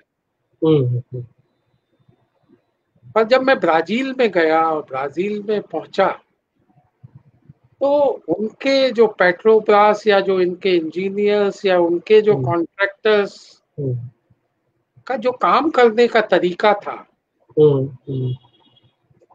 तो मुझे मतलब हंड्रेड परसेंट नहीं यूरोपियन या अमेरिकन कल्चर के पर उसके बहुत करीब लगा। And there was a vast difference in way of working from our side and their side हालाँकि ये भी मैं मानता हूँ कि हमारे रिज़ल्ट उनसे बेहतर रहते हैं हमेशा। अच्छा। पर जहाँ हम लोग रिजल्ट्स बेहतर है पर उसका कारण ये है कि हम प्रयास और हमारी मेहनत बहुत ज़्यादा करते हैं। पर जो प्रोडक्टिविटी बोलते हैं ना उत्पादकता उत्पाद उसमें हम हिंदुस्तानी लोग कहीं नहीं ठहरते किसी के सामने। मतलब हमारी उत्पादकता इतनी कम है हम्म। जिसके कारण कि हम लोग शायद उस लेवल तक कभी पहुँच नहीं पाते। शायद इसीलिए हम लोग मेहनत ज़्यादा करने की कोशिश करते हैं पर यह हाँ, आपने बिल्कुल सही कहा स्मार्ट वर्किंग की ज़रूरत है हार्ड वर्किंग से ज़्यादा स्मार्ट वर्किंग होना चाहिए। हम लोग हार्ड वर्किंग के अलावा भी हम लोगों में कुछ मतलब जब मैं हम लोग बोलता हूँ तो उसमें मैं भी शामिल हूँ हमारा हाँ। पूरा देश शामिल है। हाँ। हमारे हर स्तर के लोग शामिल हैं। हमारे में कुछ कमियाँ हैं। कि हम लोग राय और बहस करने में माहिर हैं। हम लोग धोनी को समझा सकते हैं कि विकेट कीपिंग कैसे करनी चाहिए। सही है। कपिल देव को बता सकते हैं कि उसने बॉलिंग गलत क्यों की। हम्म। सचिन तेंदुलकर को बैटिंग भी सिखा सकते हैं। भले ही हमने कभी बैट का बल्ला या गेंद पकड़ी ना हो पर हम सिखा सकते हैं। हम हर हिंदुस्तानी में ये कैपेबिलिटी हम्म, हम्म, मतलब हम लोग जो जो क्षेत्र हमारा नहीं है उसमें भी राय देना चाहते हैं और सोच चाहते हैं कि हमारी बात सुनी जाए सब उसको हम्म। समझने की कोशिश करें इसमें हम बहुत समय व्यतीत कर देते हम्म। जबकि मैंने बाकी देशों में ये देखा है कि they always leave that area to that expert और वो जो कहता है वो सुना जाता है और लोग उस उसके पीछे चलते हैं। तो उनका समय बर्बाद नहीं होता है ये डिस्कशंस में और अनफ्रूटफुल डिसीजंस ये बहुत बहुत इंपॉर्टेंट बात है बहुत इंपॉर्टेंट बात है दिस इज़ फैंटास्टिक तो हम हिंदुस्तानियों को ये एक आदत अपनी मेरे ख्याल से सुधारने की और समझने की ज़रूरत है और ये हम्म। दिखता भी है हम हिंदुस्तानी कम किसी से नहीं है हम्म। क्योंकि आप देखो जब हमारा सिस्टम चेंज हो जाता है जो जो हमारे साथी या हमारे हम्म। हिंदुस्तानी बाहर गए हैं और उस सिस्टम उनको जब प्रॉपर मिला है तो उन्होंने उनसे बेहतर काम करके दिखाया पूरी दुनिया के बड़ी बड़ी कंपनियों को लीड कर रहे हैं लेकिन वो वहाँ जाकर लीड कर रहे हैं। इंडिया में जाके लीड कर रहे हैं पर वो हिंदुस्तान में फेल हो जाते हैं। हिंदुस्तान में रह के हम उतना बड़ा काम क्यों नहीं कर हाँ। सकते? ये आपने एक बहुत अच्छा सवाल किया है और वो प्रोडक्टिविटी जो बढ़ाना है बहुत इम्पोर्टेंट है। तो सर इसके ऊपर फिर कभी एक बहुत लंबी चर्चा करेंगे प्रोडक्टिविटी क्या कैसे बढ़ाएँ क्या करें? मैं तो आप आपसे बहुत सारी बातें करना चाहता हूँ। गेसू झाम के अलावा प्रोजेक्ट और प्रोजेक्ट वर्क को ज़िंदगी में कैसे कैसे शामिल किया जाए इसके बारे में बात करना चाहता हूँ। और वक्त की अपनी सीमाएँ हैं इंडियन लोग हम उसके लिए भी जाने जाते हैं कि हम वक्त की परवाह नहीं करते। लेकिन हम उसकी उसका सम्मान करेंगे। Hmm. मैं आपसे फिर आखिरी में दो तीन चीज़ें और कहना चाहता हूँ कि सर जो आपकी पूरी कहानी हमने सुनी कॉलेज hmm. से लेकर अभी तक की उसमें मुझे दो तीन चीज़ें समझ में आई कि कहीं ना कहीं आपके अंदर एक दृढ़ता है और जो आप सोचते हो उसके ऊपर आप दृढ़ रहे आपने मार भी खाई, लेकिन दृढ़ रहे आप, ठीक है? दूसरी चीज़ मुझे ये भी अच्छी लगी कि सब तरह का विरोध होने के बाद, सब तरह के अनुभव होने के बाद भी आप और बाकी सब गेसू के साथी, उन सबको भी मैं सलाम करता हूँ। ये गेसू इंजीनियरिंग यूनिटी की हम बात करते हैं, खाली बात नहीं करते सचमुच में ये बात है वापस से सब आकर मिलकर बैठ गए। यस वापस से सब आकर मिलकर बैठ गए। वापस से वो पार्टियाँ हुई होंगी वापस से मिलके इंजीनियरिंग यूनिटी के नारे लगे। जैसा आपने कहा कि आपके जुलूस में भी हॉस्टल के लोग थे जो आपके खिलाफ भी थे। और मैंने तो ये भी देखा है कि गोल्डन जुबली के वक्त मैंने आपको और हमारे बाकी सब सीनियर्स को आपस में बैठ के काम करते हुए देखा है विचार विमर्श करते हुए देखा है। और इतने आराम से इतनी सहजता के साथ ये सब बात करते देखा है कि जिसको पुरानी कहानी पता ना होगी उसको पता भी नहीं चलेगा। हाँ। तो नहीं ये ये इसके जड़ में जो गेसु का जो आत्मीय भाव है ना वो सब में बिल्कुल। तो तो कहीं ना कहीं वो वक्त ऐसा होता है कभी न कभी ऐसे होते हैं, कहीं ना कहीं दो ऐसा होता है जिसमें हम सब कहते हैं, लेकिन मुझे लगता है कि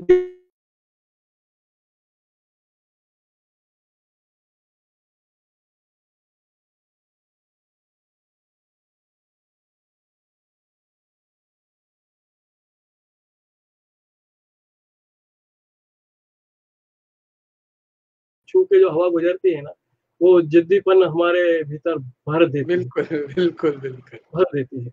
और उसके अलावा जो आत्मीय भाव है हम दुनिया में कहीं भी रहे जब कोई गेसुआइट मिलता है तो उतने ही प्यार से हम जानते नहीं है तभी उतने प्यार से तो आज का ये जो संवाद था इसमें हमने बहुत सारी बातें की और इसका पर्पज मैं बात फिर से कहना चाहता हूँ इसका पर्पज ये है कि देखिए ये असली गेसू है। कि हम साथ में रहते भी हैं खटपट भी होती है विरोध भी होता है विचारों की भिन्नता होना ज़रूरी है ये भी आपने कहा।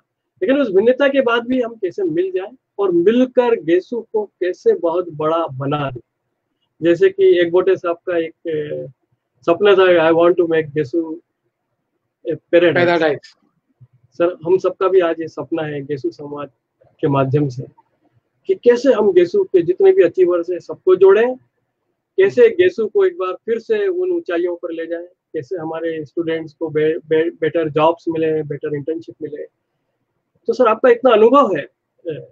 तो मैं ये चाहूँगा कि गेसू के जो स्टूडेंट्स हैं और जो एलुमनाई हैं उनको भी मेंटरशिप करने में आपका साथ रहे। इसके लिए आपका वक्त हमको लगेगा और मेरा ख्याल है कि थोड़ा सा अपना शर्मिलापन आपको छोड़ के आप ये मत कहिएगा कि अरे मेरे को जो आता है वो तो सबको आता है, क्योंकि जो आपको आता है वो सबको नहीं आता। और नहीं पुनीत मैं इसलिए पीछे रहना चाहता हूँ, उसका एक कारण है कि मुझे लगता है कि हम लोग मतलब अभी समझिए तीस पैंतीस साल पुराने इंजीनियर्स हैं। अभी की रिक्वायरमेंट ये मैंने आज नहीं बोल रहा हूँ, मैंने अपने गेसू के भिन्न भिन्न मंचों में मेरा हमेशा विचारधारा रही है।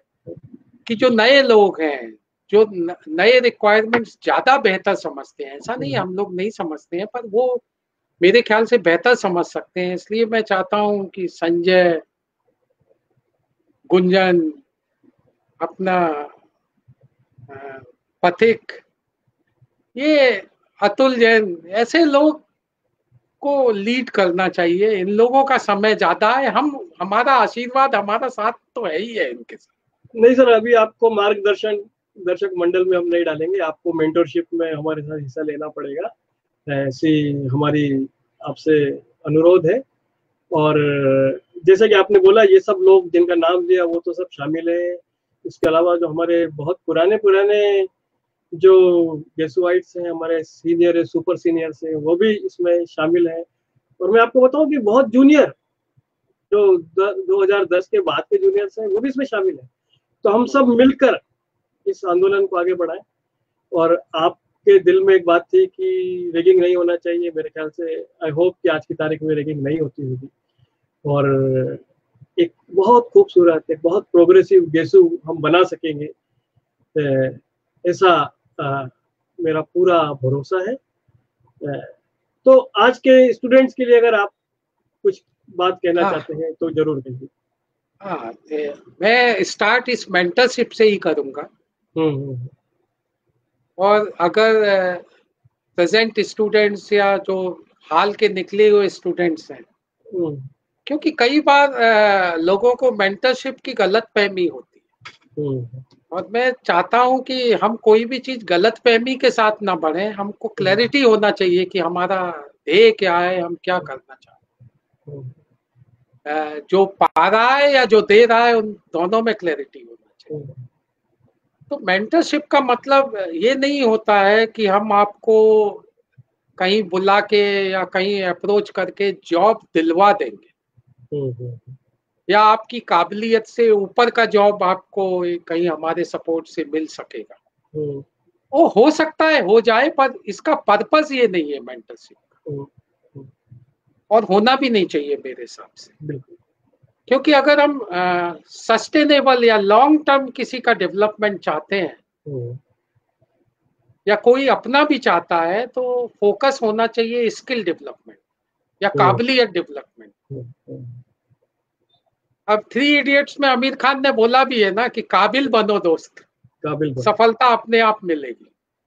तो mentorship should focus on more to make everybody capable of that और उस पर हम वर्क करेंगे तो शायद हम ब्रॉड uh, प्रस्पेक्ट में ज़्यादा लोगों का समावेश कर पाएँगे। हम शायद नौकरी तो दो चार को दिलवा सकते हैं पर शायद स्किल या डेवलपमेंट क्योंकि बहुत सी चीज़ें हैं जो हम लोग कॉलेज में रहकर समझते नहीं है कि इंडस्ट्री क्या चाहती है। हम्म, हम्म। और नए लोगों को एक ये मेरी ये भी सुझाव रहेगा कि हम्म। हम लोग भले ही समझते हो कि हमने इंजीनियरिंग कर ली ऐसा मेरा भी विचार था। जब मैं फ्रेश निकला था तो अब हमको अच्छी नौकरी क्यों नहीं मिल सकती? हम तो इंजीनियर है ना। पर जब हमने काम करना शुरू किया तब हमको पता चला कि जो पढ़ाया है उसमें से तो दो चार परसेंट भी यहाँ काम का नहीं है। मतलब डायरेक्ट एप्लीकेशन नहीं होती है कई बार। तो वो सीखने के लिए या वो सिखाने वाला भी आपको मिलना चाहिए। और तो इसलिए पहले दो तीन साल हर इंजीनियर जो फ्रेश इंजीनियर है उसका focus how to learn and what I am going to learn for by taking this job. उस पर ज़्यादा होना चाहिए बजाय इसके कि what I will get in terms of money और पे।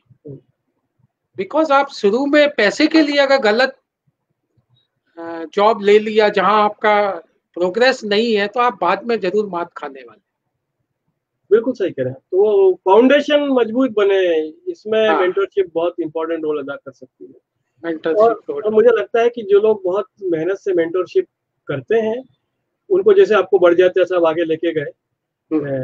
कोई ना कोई मेंटोर आपको ज़रूर आगे ले जाएगा हो हाँ। सकता है कि शुरू में आपको इतना हेल्प ना मिले करियर में पर सबकी नज़र रहती है बाद में आपको बड़ी छलांग मिली हाँ, बड़ी छलांग इस, आपने सही पकड़ा। मैं थोड़ा सा इलेबोरेट करूँगा हम्म। कि इसमें कई बार क्या होता है मतलब ये गलतियाँ मैंने भी एक दो बार की है। मैं ऐसा नहीं हम्म। कहता अपनी गलतियों से भी सीखना चाहिए हम्म, कि कई बार कोई आपको आप नए नए शामिल होते हो वो कोई ऐसा काम दे देता है जो आपको लगता है कि ये तो बेकार है। हम्म, मतलब इसकी कोई इम्पोर्टेंस नहीं है इसलिए मुझे थमा दिया मैं जूनियर हूँ करके। हम्म, हम्म, और आपका उसमें मन नहीं लगता। तो आप क्योंकि बॉस ने बोला हुआ है तो करते तो हो पर आधा अधूरा से करके दे देते। तो मेरा ये सुझाव है कि ये हमको ये मेंटेलिटी को त्यागना पड़ेगा नए लोगों को जो कैरियर में। क्योंकि क्या है काम छोटा हो या बड़ा हो वो काम पर स्टैंप आपके नाम की लगती है कि ये हम्म। आपने किया है। हम्म। और आप छोटे काम या बड़े काम को किस तरह से निभाते हो उसके हिसाब से आपका परसेप्शन या आपकी इमेज बनती है। तो अगर आप कुछ काम टालते हो तो कहीं होता है डिस्कशन में बोल देते हैं लोग अरे ये काम उसको मत दो वो नहीं करेगा। या उसके बस का नहीं है। तो it gives a wrong image so whenever the job is allocated I think we should give our best whatever we can do बिल्कुल। एंड तो ये एक और मंत्र है जो मतलब हम अनजाने में कभी कभी नहीं फॉलो करते और उसके भावना नहीं। और उसके वाइब्स बाहर की दुनिया को मिलते हैं मतलब ऐसा नहीं है कि लोग उसको समझ नहीं पाते। कहीं ना कहीं उनको पता चलता है कि ये मन से किया हुआ काम नहीं है। हाँ। तो सर आज आपसे बात करके दिल खुश हो गया और आपने इतने खुल के बात की और इतने प्यार से बात की। बहुत सारे गेसू के यंग लोग जो आपको नहीं जानते थे लेकिन जानना चाहते थे कि ये आखिर है कौन? जैसे कि कुछ लोगों ने लिखा है कि आप गेसू के एक आइकन है। गेसू के आप एक लेजेंड है। ये आप सब लोगों ने बना दिया है। हाँ, तो हमारा शायद इतनी काबिलियत नहीं है। हमारा तो काम है सर बनाना। हम अपना काम बहुत अच्छी तरह से करते हैं। ऐसा समझिए आप। लेकिन सर क्या है कि ये हम यंग लोग हैं जो आपकी तरफ़ देखते हैं। और आपसे प्रभावित होते हैं। सबसे बड़ी बात जो मुझे आपके साथ सीखने को मिली, वो यही है कि किस तरह से आप अलग अलग तरह के दिमाग वाले लोगों को एक साथ बिठाते हैं, उनके साथ बात करते हैं। सबको एकजुट रखने की कोशिश करते हैं और बिना अपने अहम को बीच में रख के। और ऐसा नहीं है कि सबको मिलाने के लिए कंप्रोमाइज करते हैं, आप अपना वैल्यूज़ पे भी अड़े रहते हैं। I think this is a great learning for all of us in the corporate sector who are entrepreneurs वो लोग जो स्ट्रगल कर रहे हैं उनके लिए भी जो बहुत सफल हैं उनके लिए भी। तो आपका बहुत बहुत धन्यवाद। और just I will like to take two more minutes sir आपको जितना टाइम चाहिए उतना टाइम नहीं क्योंकि आपने स्ट्रगल की बात की तो मुझे एक बात याद आ गई। हाँ जी। आ, अभी जब ये गेसु संवाद में मेरा होगा करके तो कुछ पुराने मित्रों के फ़ोन आए। मतलब हम्म। और फिर चर्चाएँ निकली। हम्म, तो हमारे 87 बैच के अनिल चौधरी है। अच्छा उनसे हमारी चर्चा हो रही थी। तो उन्होंने एक बहुत अच्छा सुझाव दिया ये स्ट्रगल के ऊपर। उन्होंने बोला कि सर आपको मालूम है या नहीं मालूम है पर कई लोग ऐसे हैं गेसू के जिन्होंने अचीव किया ऐसे बहुत लोग हैं। पर फिर भी कुछ लोग ऐसे हैं जो बहुत पीछे छूट गए। मतलब जो तीस तीस साल पैंतीस पैंतीस साल या बीस बीस साल बाद भी स्ट्रगल कर रहे हैं। और अब स्टेटस में इतना डिफरेंस हो गया है और स्ट्रगल करते करते वो इतने निराश या हो चुके हैं कि वो अपनी व्यथा या अपना दर्द बांट भी नहीं पाते। तो हम लोगों को ऐसे लोगों का कुछ करना चाहिए। तो मैंने उनको बोला कि संवाद प्लेटफॉर्म से ऑलरेडी संवाद टीम ने काफ़ी लोगों को ऐसा किया है। तो उनका पर ये पॉइंट था कि आप करोगे तब जब आपको पता पड़ेगा। ये झिझक के कारण आप हम लोगों को पता ही नहीं पड़ता है। कई बार। तो इसका क्या समाधान है? तो उसका समाधान भी उन्होंने ही दिया। बोले हम इस संवाद प्लेटफॉर्म को यूज़ करके अगर हर बैच से एक या दो रिप्रेजेंटेटिव जो वॉलेंटियर्स रिप्रेजेंटेटिव या जो वॉलेंटियर करना चाहे उनके नाम और फ़ोन नंबर कॉन्टेक्ट नंबर अगर लिस्ट कर दें तो। क्या होता है कि आदमी सीनियर या जूनियर से उतने बेझिझक बात नहीं कर सकता है जितने अपनी बैच से कर सकता है। तो बैचमेट तक अगर वो बात पहुंचेगी फिर वो संवाद प्लेटफॉर्म में दूसरे लोगों की हेल्प लेकर जो कुछ भी पॉसिबल है तो वो मदद कर सकते हैं। इस पे ज़रूर काम करेंगे और इसको कैसे अमली जामा पहनाया जाए इसमें आपका गाइडेंस लगेगा। हाँ। और मनीष श्रीवास्तव अभी हमारे साथ है इसी संवाद सेशन में। और तो मनीष हमारी वेबसाइट पर हम इसको कैसे ला सकते हैं इस पे काम करेंगे। तो इसको ज़रूर अमली जामा पहनाने की कोशिश की जाए। और आप जैसे लोगों का क्योंकि हम सबको नहीं जानते हैं अभी भी। तो आप जैसे सीनियर लोग जो है वो अगर इसमें गाइडेंस करेंगे तो ज़रूर काम हो सकता है। नहीं हम सब लोग मिलेंगे तो हर आदमी कुछ ना कुछ विचार का अपना इनपुट देगा और हम लोग सफल भी होंगे। और मैं आपके माध्यम से आज ये भी कहना चाहता हूँ जो आपने कहा कि एक्सपेक्टेशन और रियलिटी में कहीं ना कहीं एक जैसा होना चाहिए वरना मिस मिस इन्फॉर्मेशन मिलती है या वो गलत फहमी हो सकती है। तो मैं ये भी कहना चाहता हूँ कि जैसे संवाद के माध्यम से हम सबको जोड़ने की कोशिश कर रहे हैं सबको शोकेस कर रहे हैं सामने ला रहे हैं एक्सपेक्टेशंस बहुत हैं और हम लोग कुछ लोग मिलकर अपना काम भी करते हैं नौकरी भी करते हैं yes. उद्योग भी करते हैं उसके बाद थोड़ा टाइम निकाल कर ये कर रहे हैं। तो इसलिए कुछ चीज़ों में टाइम लग सकता है।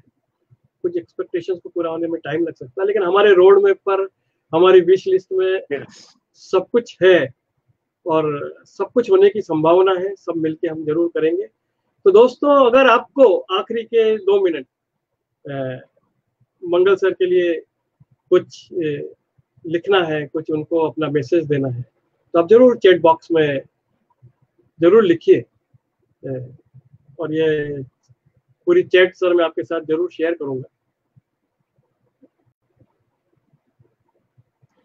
नहीं सभी लोगों को धन्यवाद कि उन्होंने इतना समय दिया सुनना। मेरी उम्मीद से ज़्यादा है मुझे लगता है।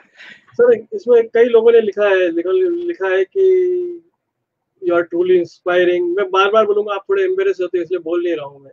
क्या? और किसी ने वही लिखा है कि आप आइकन हैं हमारे। कुछ डीप थॉट्स हैं आपके कुछ बहुत अच्छे आइडियाज़ हैं। मैंने कहा ना कि आप, जैसे कुछ लोग होते हैं जो बात को बहुत ड्रामेटिक तरीके से कहते हैं। आप सहज अंदाज में बड़ी बात कह देते हैं। और कई लोगों ने उन बातों को पकड़ा है जो चैट में हमारे समराइज भी हुई है। और आपसे हम लगातार बात करते रहेंगे और आप इसी तरह से हमारे साथ जुड़े रहिए, लगातार जुड़े रहिए। और आज ये हमारा सिल्वर जुबली सेशन था। इसमें आप आए इसके लिए बहुत बहुत धन्यवाद। और जैसा कि मैं हमेशा कहता हूँ मैं बात खत्म नहीं करना चाहता लेकिन हम यहाँ पर एक विराम लेंगे आपकी इजाज़त से। तो विराम लें आज की बातचीत। यस नमस्कार। ओके तो दोस्तों इसी के साथ आज का ये सिल्वर जुबली एपिसोड हम यहाँ पर रोक रहे हैं। शब्बा खैर। गुड नाइट शुभ रात्रि। जय हिंद। जय हिंद।